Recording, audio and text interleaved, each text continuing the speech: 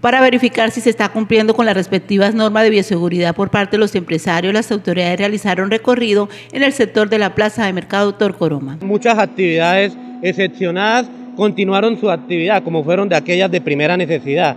Entre estas, abastecimiento de productos de la canasta familiar, estos nunca se deshabilitaron, por ende no necesitan una reactivación, pero sí requieren de una habilitación de los protocolos para darle continuidad a sus actividades económicas. Los comerciantes que deseen activar sus actividades económicas deberán postular la Cámara de Comercio su protocolo de bioseguridad ajustado a sus condiciones locativas y a su actividad económica conforme a sus trabajadores. Y deberán postularlo con un listado detallado del horario, día laboral y los cargos que ejercen estos trabajadores, cargarlos en el sistema que se encuentra en la plataforma de la Alcaldía Distrital y luego posterior, ante una revisión por parte de la Secretaría de Salud y la Secretaría de Gobierno, se le certificará y, avalará su actividad económica. Durante este recorrido se visitaron establecimientos como supermercados, ventas de carnes y verduras.